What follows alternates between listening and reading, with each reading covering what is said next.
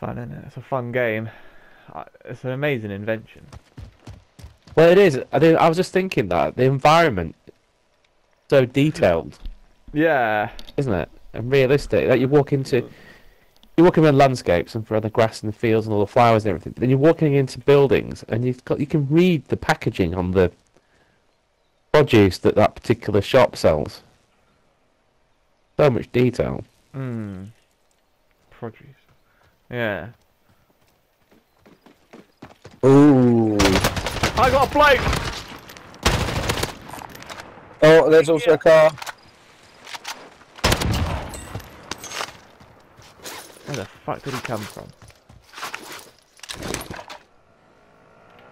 You tried to run me over. Chat Mitch.